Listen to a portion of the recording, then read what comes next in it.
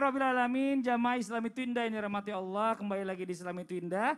Mengingatkan aja nih ya hari ini kita sedang membahas tentang prasangkamu membawa petaka. Nauzubillah min zalik. Jadi jangan sembarangan berprasangka sama orang. Bisa jadi petaka nih. Narehan nih.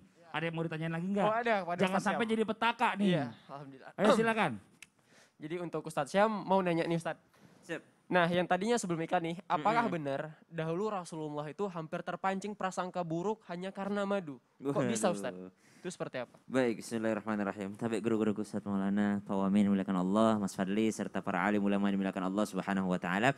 Jikalau yang ditanyakan adalah uh, kisah salah satu uh, surah, yakni surah At-Tahrim. Ya ayyuhan nabiyyu lima tuharrimu ma ahallallahu lak, tabtaghi mardata azwajik. Jadi ayat ini turun berkenaan dengan peristiwa Nabi Shallallahu Alaihi Wasallam. Kedua istri beliau yang muda-muda yakni eh, ibunda Aisyah radhiyallahu taala anha wardaha kemudian ada juga eh, Zainab atau yang disebutkan di riwayat yang lain adalah Hafsah kemudian eh, mereka ini eh, bersekongkol dengan baginda Nabi Shallallahu Alaihi Wasallam karena Nabi Shallallahu Alaihi Wasallam punya minuman kesukaan yakni madu yang dicampurkan atau madu yang dibikin jus Kemudian eh, Nabi Shallallahu Alaihi Wasallam di rumah salah satu istri beliau itu sering diberikan minuman tersebut. Maka ketika Nabi Shallallahu Alaihi Wasallam minumnya, saking nikmatnya Rasulullah Shallallahu Alaihi Wasallam meminumnya, maka kadangkala Nabi itu over waktunya di rumah itu. Jadi Nabi kadangkala terlambat untuk pindah ke rumah yang lainnya atau pulang ke rumah yang sebelumnya yang mempunyai jadwal.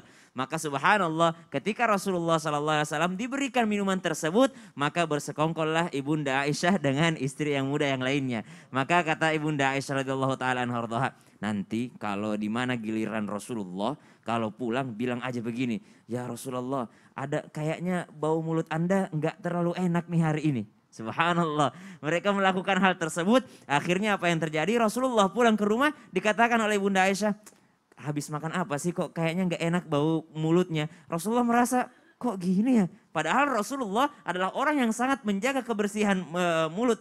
Ya, kata baginda Nabi Shallallahu Alaihi Wasallam, seandainya tidak memberatkan untuk umatku, maka kuwajibkan siwak baginya setiap mau sholat gitu. Saking Rasulullah Shallallahu Alaihi Wasallam sangat memperhatikan aroma mulutnya, bau mulutnya, subhanallah, aroma badannya. Rasulullah SAW sangat sempurna, baik fisiknya, akhlaknya.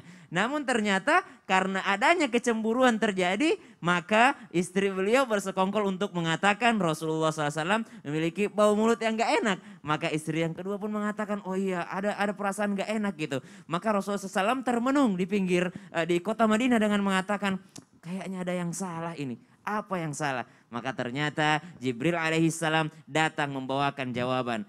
Ketika Rasulullah Sallallahu Alaihi Wasallam diceritakan oleh Jibril Alaihissalam, ternyata istrinya cemburu. Maka Jibril mengatakan, Rasulullah SAW mengatakan, mulai hari ini saya haramkan madu. Ditegur langsung oleh Allah Subhanahu Wa Taala.